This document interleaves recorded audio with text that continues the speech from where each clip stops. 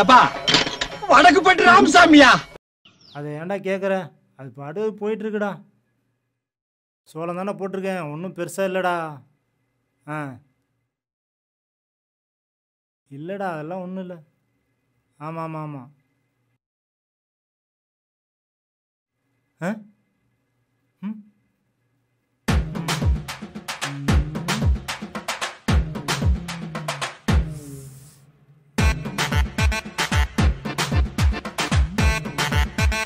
பார்த்தா வெளியூர் பொண்ணு மாதிரி தெரியுது. ம், ம், ம், ம், ம். செம்மையா இருக்காடா. எப்படியாவது நீ கரெக்ட் பண்ணிட வேண்டியதுதான். என்னங்க? அசலூருங்களா ஆமாங்க. அப்போ நான் ஒன்று சொல்லியே ஆகணுங்க அப்போ நானும் ஒன்று சொல்லியே அவனுமே ஜென்ஸ் வயசுல பேசுகிறேன் ஜென்ஸ் பேசுனா ஜென்ஸ் வாய்ஸ் கேட்காம வேற என்ன கேட்கும்? டேய் கணேசா. ஆமாண்டா. தாலியை கட்டிட்டியா? ஆமாண்டா. ஏண்டா தரகர் பார்த்த பொண்ணு என்னாச்சு? தரகர் பார்க்க பொண்ணு தான்டா பார்க்க போனேன்.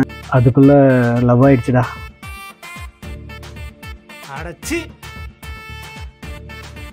சூப்பர். அது மட்டும் இல்லடா அவங்க அண்ணனை நினச்சாதான் எனக்கு பயமா இருக்குடா. அடிக்க துரத்திக்கிட்டு இருக்கான்டா. அண்ணனா? யாரா அவன்? அவன்தான்டா வடக்குப்பட்டி ராமசாமி. டேய் வடக்குப்பட்டி ராமசாமியா? அவன் ஒரு பைத்தியம் ஆமாண்டா அது மட்டும் இல்லடா. எங்கள் ஐயனை நினச்சதாண்டா ரொம்ப கவலையாக இருக்குடா. அட மொய்யனை விட்டுட்டு மாரு மொய்யன் தானே உன்னை காப்பாற்ற போறவரு என்னடா சொல்கிற ஆமாண்டா. கூட்டுறா பஞ்சாயத்தை.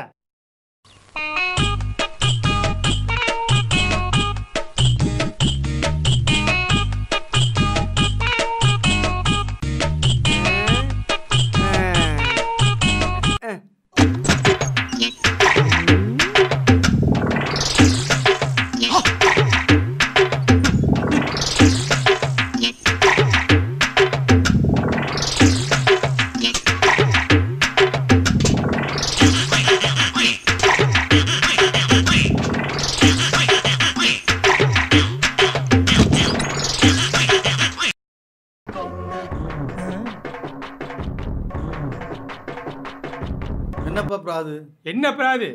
இந்த ரெண்டு நாய்களும் ஏதோ பண்ணிட்டு வந்திருக்காங்க. புதுசாக வேற ஒரு புள்ளை ஒன்று கூட்டிட்டு வந்திருக்கிறாங்க. இவனுங்க ரெண்டு பேரும் என்ன பாடுபடுத்துனாங்க தெரியுமா நீ இதெல்லாம் தெரிஞ்ச விஷயம் தானே? டேய் கணேசா பாத்தியா? பஞ்சாயத்தில் கூட்டமே இல்லை. வர வர பஞ்சாயத்துக்கு வேலை வெட்டி இல்லாதவன் தான் வந்துட்டு போகிறான் போல இருக்கு. ஊரு உருப்பிட்டுரும் போல. இந்த பாடுறா ஊர் உருப்பிடக்கூடாது. ஆமாம் ஆமாம் பாருங்க பாருங்க. இப்ப கூட ரெண்டு பேரும் என்னமோ பேசிட்டு இருக்கானுங்க. விளையாடுறதுக்கு ஒரு அளவே எல்லாம் போச்சுடா மணியா. கொஞ்சம் கம்முன்னு இருடா. ஏ கார்த்தி? ஏ செந்தில் ஏ மீனாட்சி என் பையனுக்காக பேசுற. என் பையனை எப்படி வளர்த்துருக்கேன் தெரியுமா? பொண்ணை பார்த்தா மண்ணை பார்த்து நடப்பான். அப்படி வளர்த்துருக்குறேன். ஆமாம் ஆமாம் உன் பையனை இடுப்புல தூக்கி வச்சிங்க. விசாரிச்சா தான் என்னன்றது தெரியும். சொல்லு? தங்கச்சி கொஞ்சம் கட்டுப்பாடோட வருமா அவரு உங்க மாமனார். என் பையன் இருக்கிற ஒரே கெட்ட பழக்கம். இந்த மணியாங்கிட்ட பழகிட்டு இருக்கிறான் ஆஹா. ஏ மணியா உங்க அப்பனை போய் கூட்டு வாடா. எதுக்கு? பொண்ணை கூட்டி வந்து உண்ட அப்பனை கூட்டு பஞ்சாயத்தில் உட்கார வைக்கண்டாமா கூட்டி வந்தவரோட அப்பா பஞ்சாயத்துல தான் இருக்காரு. என்னடா சொல்ற மணியா? அட இதான் உன் மருமக தலைவர. நெஞ்சு வலிக்குதுடா கணேசா. போங்கடா போய் சீக்கிரம் ஆசீர்வாதம் வாங்கிக்கடா ஐயோ ஆமா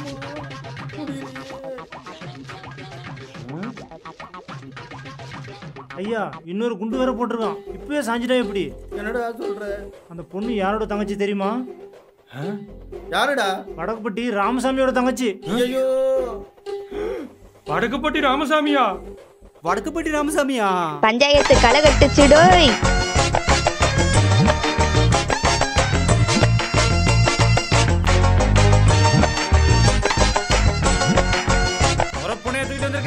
ஆமா இருங்க மாமா அவனை வச்சுக்கிறேன் நீங்க உண்டு பண்ற பாருங்க. என் முறப்பையன் ஓ முறப்பையன் வேற இருக்கானா. டிங் கொய்யா ஐயோ, அத்தா. அவன் இல்ல இவன் நான் இல்லையா? வந்தா. ஐயோ அம்மா ஐயோ ஐயோ ஐயோ ஐயோ அம்மா அடிக்காதீங்கடா அடிக்காதீங்கடா டேய் நிறுத்துங்கடா.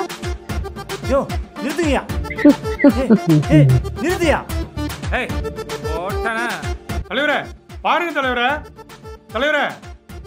டேய் ராமசாமி உன் பொண்ணை கூட்டு போடா. கணேசா நீ வீட்டுக்கு போடா. மணியா நீயும் போடா. தலைவரே சூப்பர் தலைவரே. நீ எனக்கு செம்ம உட்காந்துருக்க எதிர்த்து போடா. ஏய் நான் அவங்க கையை பிடிச்சிட்டு இருக்க? வாடி வாடி வா போலாம். அப்படியா?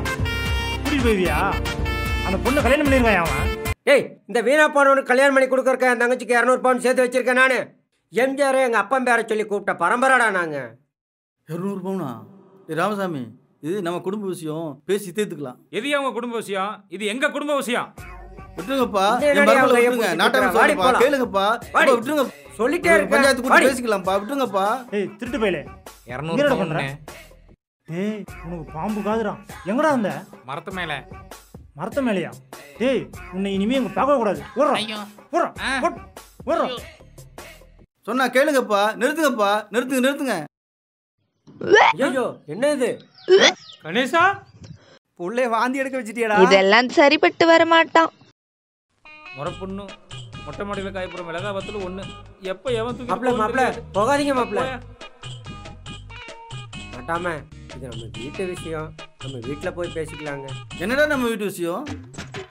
நாட்டாம என் தங்கச்சிக்கு இரநூத்தம்பது பவுன் நகை போட்டு கல்யாணம் பண்ணி கொடுக்குறேன் நாட்டாம. இரநூத்தம்பது போகணும் ஓகேன்னு சொல்லுங்க. என் வீட்டு வேலைக்காரனுக்கே இரநூத்தொம்பது பவுன் போட்டு கல்யாணம் பிடிச்சி வைக்கிறேன். பத்தாது பத்தாது. நாட்டாம என் தங்கச்சிக்கு முந்நூறு பவுன் நகையும் போட்டு தெற்கால இருக்கிற தென்னதோப்பையும் எழுதி வைக்கிறேன். என் தங்கச்ச மருமகளாக ஏற்றுக்குங்க நாட்டாம. ராமசாமி உன் தங்கச்சிக்கு முந்நூறு பவுன் போடணும்னு சொல்ற. உன் தங்கச்சியை மருமகளை ஏற்றுக்கிறதுக்கு முயற்சி செய்கிறேன் சீ ஒரு பொண்ணு வாந்தி எடுத்தா மசக்க ஆக்கி இருக்குங்கிறதா வர வழியில ஒரு ஆகாவலி டீ வாங்கி கொடுத்ததால வாந்தி வந்துருச்சு. பஞ்சாயத்து ரணகலமாகனு பார்த்து அப்படியே பொசுக்குன்னு போச்சே. அவன் ஒன்னும் இதுக்கெல்லாம் சரிப்பட்டு வர மாட்டான். அப்பாடா நாட்டாம உயிர் பொழைச்சிட்டாரப்பா. என் பணம் வந்து சேர்ந்துடும். அப்பா சாமி உங்க பணமும் வேணாம் உங்க நகையும் வேணாம் எங்களை வாழ விட்டாலே போதும். வாங்க போகலாம். போயிட்டு வரப்பா டாட்டா ஐயோ முந்நூறு பவுன் போச்சு. முந்நூறு பவுன் போச்சு. கண்ணை தொடச்சிக்குங்க. துண்டை வச்சுக்குங்க. உடம்பு பார்த்துக்குங்க. சரியா?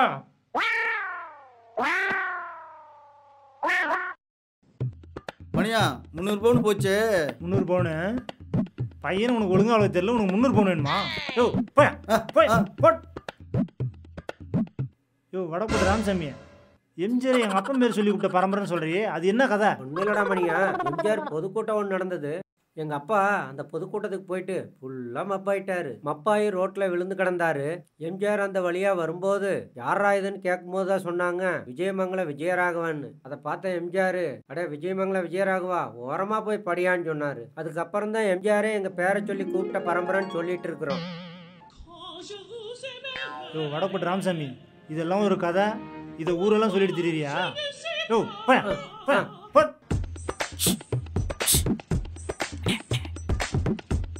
ஏய் இங்க என்னடா பண்ற? என்ன பொறுக்குற அண்ணே வடக்குப்பட்டி ராமசாமி வீட்டில் ஐம்பது பவுன் உங்கள் சேர்ண்ணே இரநூறு பவுன் அடிச்சதுல எண்பது பவுன் உங்களுக்கு கொடுத்துட்டேன் அடுத்தது ஏதாவது இருந்தால் சொல்லுண்ணே. ஏய்.